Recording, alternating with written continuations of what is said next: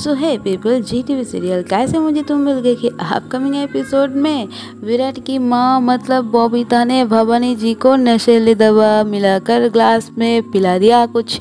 और वही कारण, भवानी जी का नशा चढ़ गया है। और उसके बाद को ये कहते हुए नज़र आएँगे कि दिल जी, क्या दिल वाले हैं आप?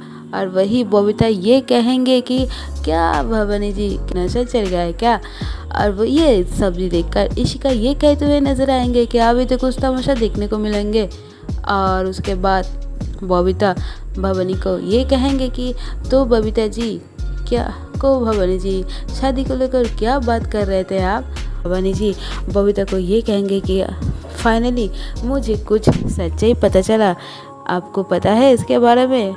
क्या आप लोगों को लगता है गाइस ममृता और विराट की जो नेकलेस शादी होने वाले है, क्या भवानी जी, बबीता जी को सब सच्चाई बताएँगे?